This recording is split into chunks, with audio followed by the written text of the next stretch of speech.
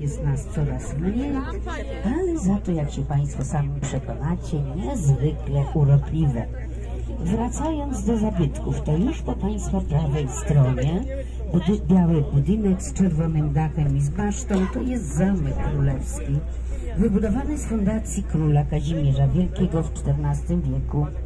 Pierwotnie zamek miał trzy takie skrzydła wraz ze ścianą kurtynową i drogą wjazdową od strony północnej, jednak podczas potopu szwedzkiego, kiedy to Szwedzi wycofywali się z miasta, a był to kwiecień 1656 roku, Szwedzi wysadzili zamek w powietrze, pozostało to jedno skrzydło. Potem czas zaborów Austriacy tutaj założyli sąd i więzienie, kiedy zaborcy między sobą ustanowili granice na rzece Wiśle, miasto przejęli Rosjanie. Zrobili to samo. Więzienie trwało do 1959 roku. Dzisiaj w zamku mieści się Muzeum Okręgowe. Już jesteśmy naprzeciwko kolejnego zabytku. Jest to budynek z cegły z ciemnoszarym dachem. To zabytek klasy zerowej, jeden z najstarszych w Polsce, najstarszy w Sandomierzu, pochodzący jeszcze z pierwszej lokacji miasta, to kościół świętego Jakuba. W 1226 roku biskup Iwon Odrowąż sprowadził z Krakowa do Sandomierza Dominikanów i to właśnie oni wybudowali ten kościół i zabudowania klasztorne. W głębi za kościołem świętego Jakuba jasno-szary dach i sygnaturka najmłodszego z zabytkowych kościołów, kościoła świętego Józefa. Ten zabytek pochodzi z drugiej połowy XVII wieku, a jego osobowością są zmumifikowane zwłoki osiemnastoletniej wojewodzianki Teresy Izabeli Morsztynówny, która ponad 300 lat spoczywa w podziemiach tego właśnie kościoła.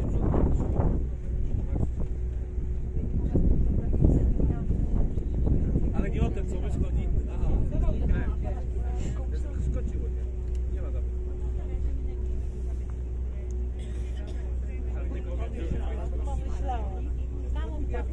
A teraz powoli nam się odsłania zachodnia strona panoramy miasta. W oddali widoczne białe zwieńczenie bramy opatowskiej, jedynej takiej bramy, która pozostała z murów obronnych miasta. O tych bram w murach było kiedyś cztery. Opatowska, Lubelska, Zawichojska i Krakowska. Do dzisiaj zachowała się tylko ta jedna brama opatowska.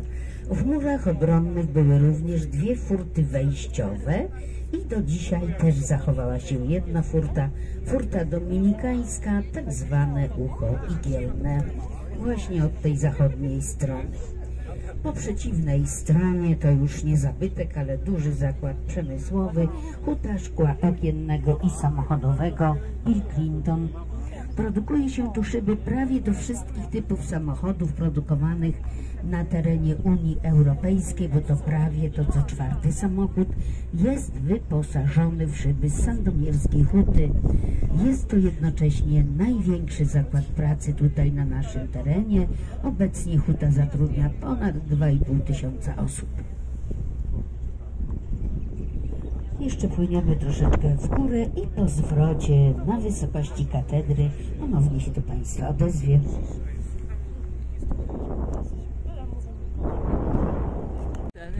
i po pracy pociąg, no to Fajnie. tak, tylko jak y, już y, dojechaliśmy do tego tutaj miejsca celowego,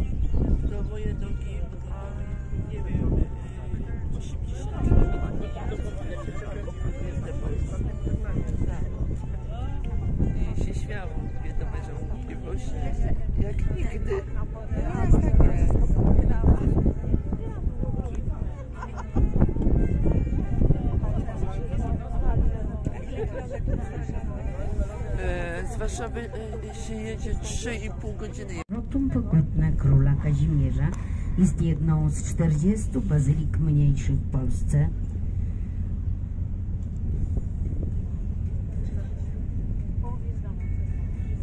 Poniżej katedry na samym dole za chwilę nam się pokaże, a w tej chwili jedyny zachowany do dzisiejszych czasów XVI-wieczny spichlerz. I tutaj trzeba dodać, że od początku XIX wieku rzeka płynęła tuż przy samej skarpie.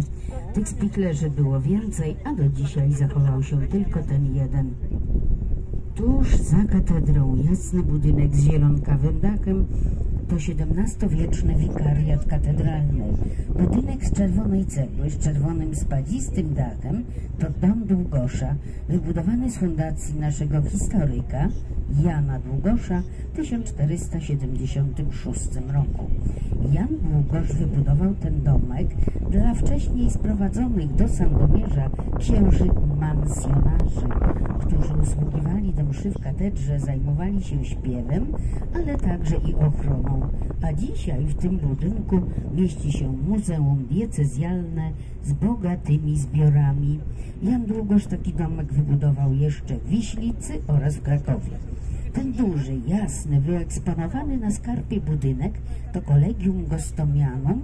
Jest to szkoła wybudowana z fundacji Hieronima Gostomskiego, wojewody poznańskiego i starosty sandomierskiego, który w 1602 roku sprowadził do Sandomierza jezuitów i to właśnie oni nadzorowali budowę tej szkoły.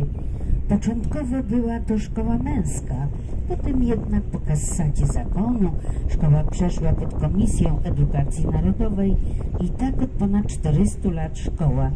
Tutaj pobierali naukę bohaterowie popiołów Stefana Żeromskiego, Olbromski i Cedro.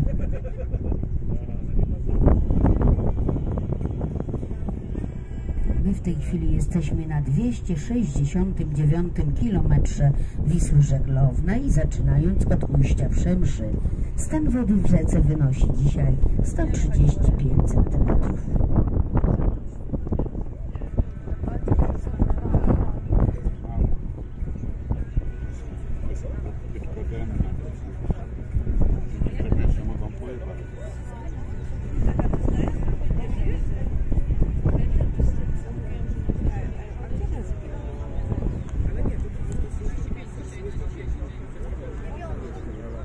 Zebrany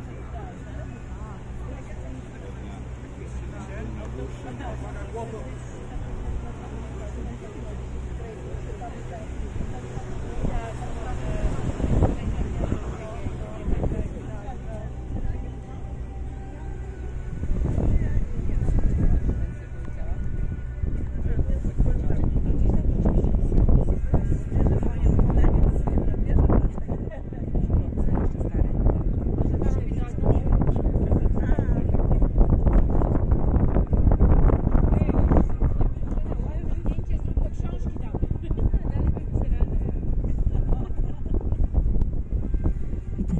nam się ładnie pokazuje wschodnia strona panoramy miasta. W oddali ponownie widzimy białe zwieńczenie bramy opatowskiej, a po środku rynku nad kawałeczkami muje renesansowa attyka ratusza sandomierskiego wraz z wieżą ratuszową.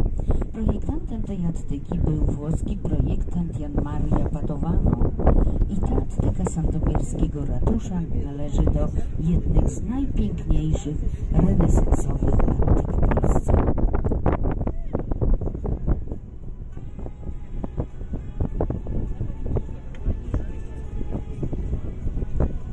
A my teraz, Szanowni Państwo, płyniemy w kierunku gór pieprzowych. To są wzgórza przed nami w. Tak jak Państwo widzicie z górnego pokładu, no cóż, szczerze mówiąc szału nie ma, ale to są jedne z najstarszych w Europie. Wypiętrzyły się jeszcze w okresie Hamburu około 500 milionów lat temu i wtedy ponoć osiągały wysokość około 3000 metrów.